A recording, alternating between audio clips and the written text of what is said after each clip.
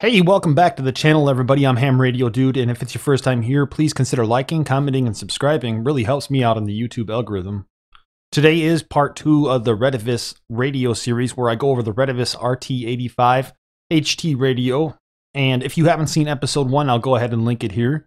And so today we're going to continue on with the series with how to program this radio via the programming software. And in order to do that, we're going to go over how to install the software and I'm going to show you one or two quick, simple shortcuts on this radio to get this thing working as it should, or as I have it for ham radio use. So let's go ahead and get started. What you will notice though is you're going to notice that there are periods where I pre-recorded myself doing some of the things, and then I'll be doing a, a voiceover, if you will, during the video. And I think that just makes it easier for me to walk through and explain everything while the video is occurring. Again, let's jump into things. First thing that I did is I went to retevis.com and I'll link everything below so it's a little bit easier for you to find. But when I got to retevis.com, I was looking around and I didn't see anything that said downloads or anything along those lines.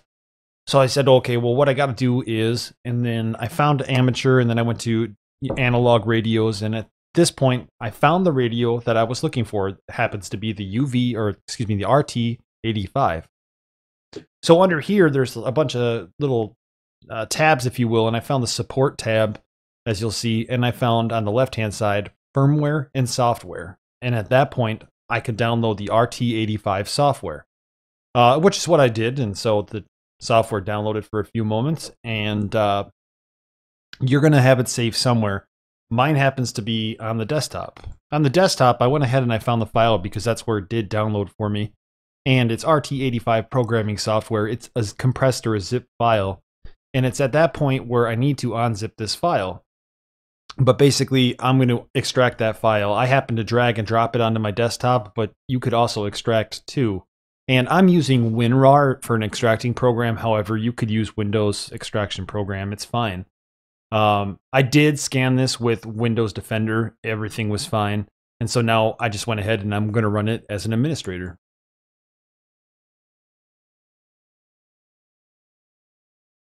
You might get something there that says, uh, you know, do you wish to allow administrative control to this program? I clicked yes. It's like I said, I scanned it and it scanned okay. But anyway, here we are on the Welcome to the Retevis Setup program. Setup will install on your computer. It's strongly recommended that you exit all windows and so forth. So I went ahead and I clicked next. And at this point, uh, I did let everything uh, basically install under the C drive. And the reason I did that is I didn't want to change the file location in case there was some kind of critical file that this software was hard coded for. So I just left it in the C drive to avoid any kind of conflict. And uh, at that point, I went ahead, I clicked next. And again, I just left the program folder as it was and I clicked next as well. Well, at that point, uh, everything does go ahead and install and it finishes. And I clicked OK here. Now that the software is installed and you could see an icon on your desktop that says RT85, but we're not going to open it quite yet, go ahead instead and plug in your radio to the programming cable. And to do that, if you've never done one of these before, on the right side of this radio, there's a little rubber flap, and if you open it up, you'll see a spot there for uh, your programming cable, which make sure you have a legitimate Retevis programming cable. Otherwise, you're going to run into all sorts of issues and you're going to think the radio is garbage when in fact it was a bad programming cable. Uh, you're going to want to go ahead and plug in the programming cable. And here is a word of caution. When you plug it in, it's only going to go in one way, as you could see, one way. But when you plug it in, you're going to think you have it in all the way. I will say that this little rubber housing unit tends to block your ability to press down all the way on this you may have to apply a little bit of force and you'll feel it click into place as I just did right there. And so once you actually have that plugged in, go ahead and plug in the USB portion of your programming cable into your computer. And then go ahead and turn on your radio. With the radio on, you'll go ahead now and open up your RT85 software. And once it opens up, you'll see it's a very basic software or programming software. Um, at the current time, Chirp doesn't support this radio, so this is the software that we have to program with. I could go through all the settings and everything, but I think the most important thing right now is actually getting you up and communicating with the radio. If you click on setting, you can click COM port select. And it does take a moment, as you can see right now.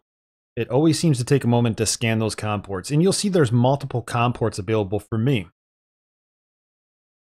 If I go ahead and I open up the device manager, and you can't see the bottom of my screen right now, but there's a little Windows icon on the bottom left of the taskbar. And if you click that Windows icon, you can then start typing in device manager. And what will appear is an icon that says device manager. So you're going to want to open that device manager up and it's going to look like this. Actually, it's going to look like this because you haven't dropped anything down yet. And what you're going to want to do in the device manager is you're going to want to go down to that ports with the radio on, and you should see a prolific USB to serial COM port, COM3. That's excellent. That's what we want to set in the programming software. And this could change if you reboot your computer or whatever. So in the future, if you have a problem where all of a sudden your radio is not being read, check to make sure the COM ports are okay. But here, COM select, I could select 6 or 3. I said that was COM port 3, so I'm going to hit that and click enter. And now your radio may read just fine, but I want to show you something that occurred to me just in case you have the same issue. If you go here to setting and a bitrate, you'll notice that they only have a bitrate for 57, 600 and 115, 200. Well, I was constantly trying to read the code plug and nothing was happening. And go back into the device manager and where we have that prolific USB to serial, double click on it and go to port settings. And right now I have it set to 57.6 because it does work. Uh, but you might need to change it to 57.6. It might be at something like 1200 baud rate or 4800 baud rate. I couldn't get it to work at 115 baud rate, uh, but I got it to work at 57.6. So select 57.6 or whatever may work for you, and then click OK. With that said, we could now probably exit the device manager. And now we have the COM port selected and we have the bitrate set. Let's go ahead and try to read the radio.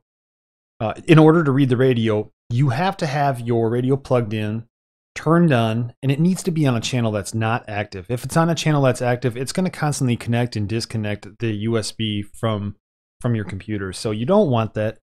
But go ahead then and click program and then read. And you'll see now it's reading the radio. Everything's looking pretty good. And it usually just takes a minute or so. What's going to happen here is it says succeed. Great. So you can see I only have one frequency in here, channel name Plex. Um, this is just a default code plug, and that's why. But but you, what you might want to do is you might not want that, right? So let's go ahead and program three frequencies in here: a simplex frequency, a VHF frequency, and a UHF frequency. And we're going to do it two different ways. The first way we're going to program this is we're going to do simplex, and we're going to program it via this little Excel type spreadsheet uh, I do want to make a note that with this software, if you program something in 10 or channel 10 or memory channel 10 and you later want to change it to 1, it ain't going to happen. Uh, so just keep that in mind. Now, what I'll do is here, I don't need 435.0 in here. So all I got to do is I got to select the RF frequency, backspace out of there, which deletes the RX frequency or the receive frequency, and then click on channel 2. And now you'll notice that all of a sudden that's gone, right? And so for number one or channel one, let's go ahead and type in 144.985. And I'm doing that one because that's a simplex frequency I enjoy. And if I click the tab or I mouse over to the TX frequency, it auto fills it in. Great. Being simplex, I don't need decoding, encoding. Uh, high power is typically what I like on my simplex frequency because it is a handheld and typically I'm a little bit further away, so I I may need that little power boost. And the rest is okay right here, but I do want to set a channel name, and I'll call this 985 uh, simp.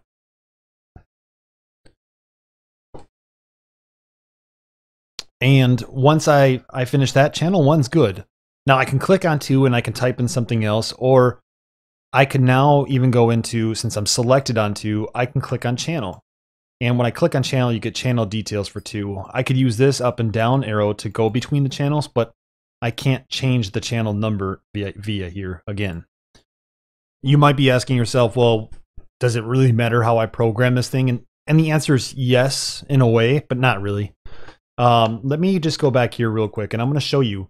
on the Excel spreadsheet here, you have all these options, and they're great, don't get me wrong, but there's no option here to scan. So if you wanted to change your scan list or block something from being scanned, you would have to double click on channel, go to that channel, and either allow it or skip it. So just keep that in mind. Uh, we're going to use this now. We're going to go to channel 2, and let me rearrange a couple things real quick. I'm going to put this up here and then I'm going to bring up Repeater Book, which, if you've never been to repeaterbook.com, it's a great site, a great resource for information of repeaters in your area. You type in the area you're going to be or where you are, and it pops up a list of, of repeaters. And so, with that, let's go ahead now. We have that information. I click on Channel Detail, and I'm going to start typing in all this information. So, my receive frequency for this repeater is going to be 443475.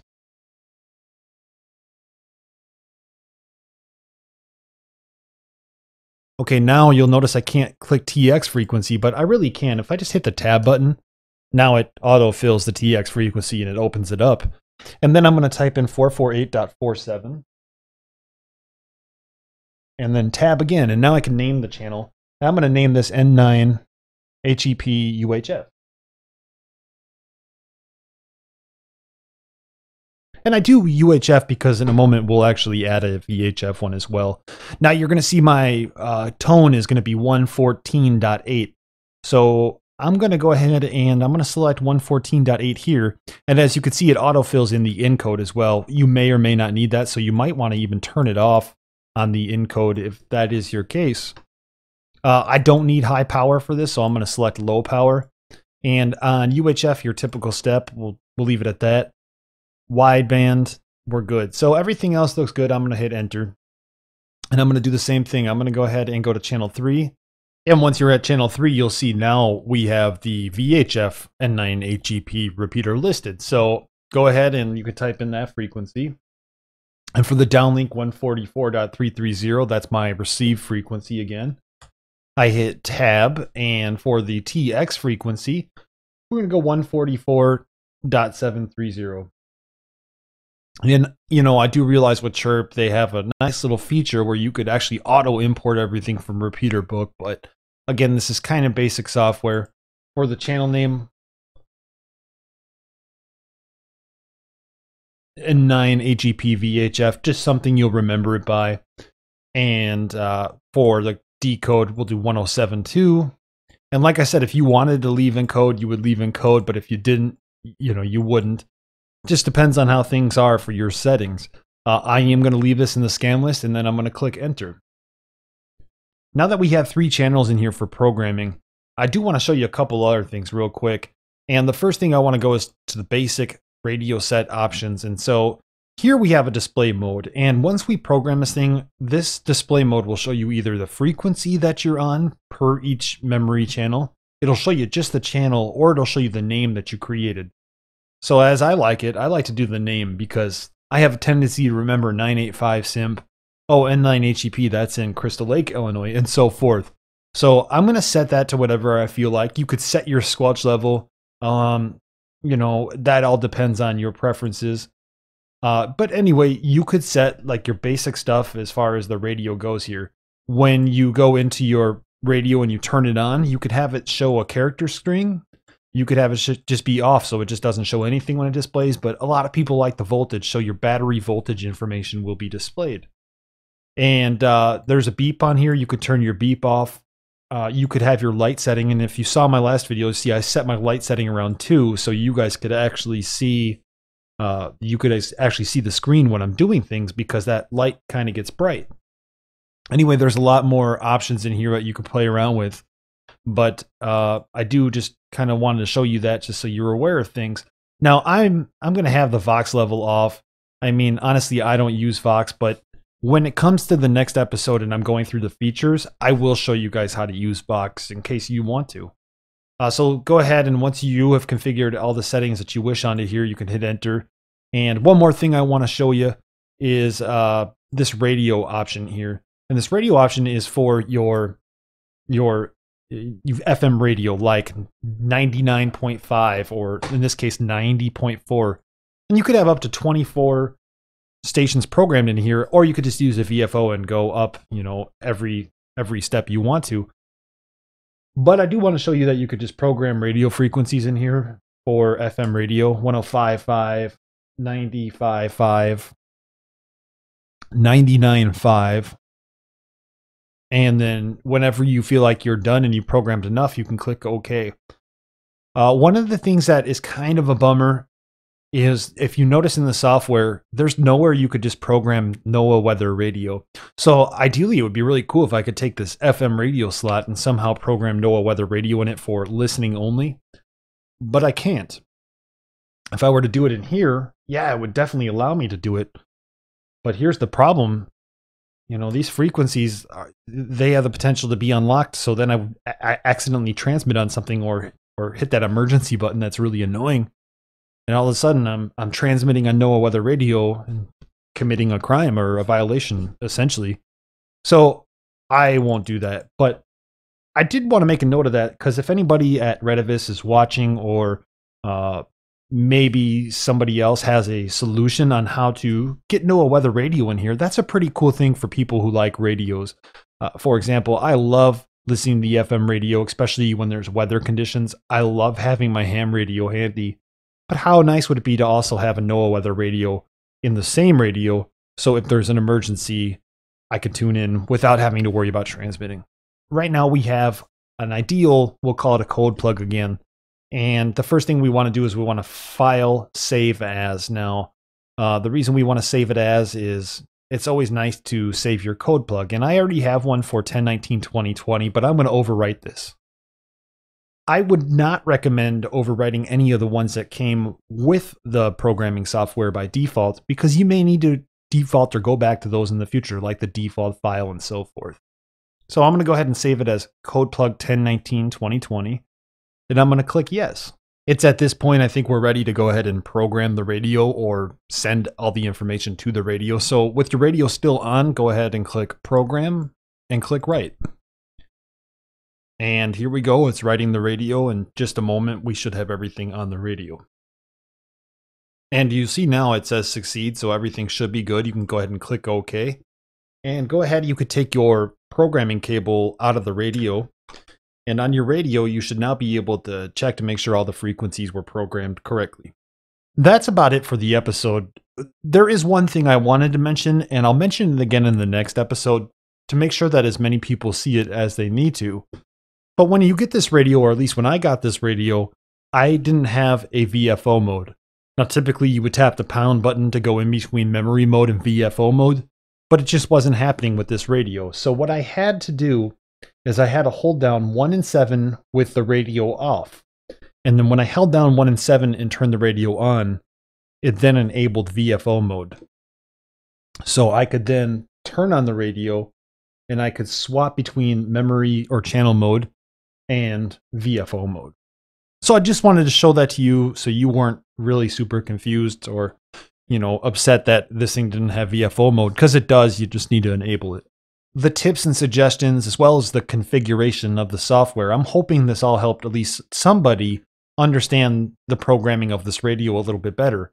And we're going to go ahead in the next episode and discuss how to program this thing via the front panel display, but also we're then going to go through some of these features and everything. So if there is anything you want to see or any questions you have, leave me a comment below and I'll do my best to hit those in the next episode.